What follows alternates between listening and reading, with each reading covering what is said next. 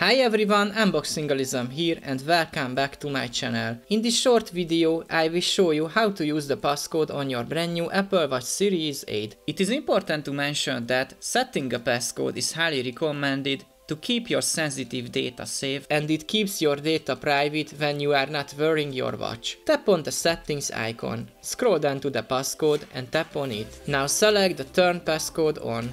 Then add a 4 digit passcode. For demonstration I will add 1, 2, 3, 4. As this message says, this password can be easily guessed. Please make sure that you won't use such password, because if someone figures it out, that person will be able to access your sensitive data. You can change it in the change passcode option.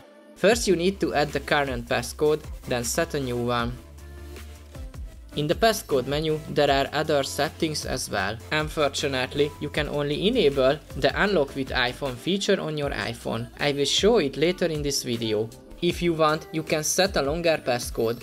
Just switch this toggle off, enter your current passcode, and you can set a new one with a maximum length of 10.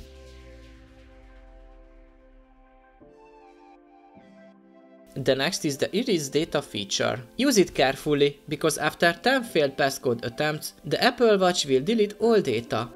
Next is the wrist detection. I highly recommend you enable it. If you are not wearing your watch, your watch will be locked, so no one can see your sensitive information. Of course you can adjust these settings on your iPhone as well. On the watch app, scroll down to the passcode and as you can see, you can find the same settings. Now, I can show how the unlock with iPhone feature works. It is important to mention that you need to enable the wrist detection, without it, it won't work. Now I will enable the unlock with iPhone feature. I need to add my passcode on my watch. I will take my watch off. As you can see, it requires a passcode.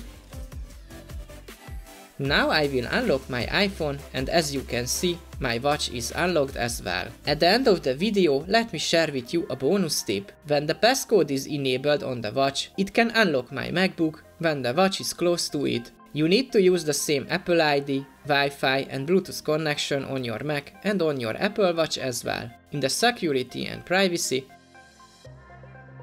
check this checkbox.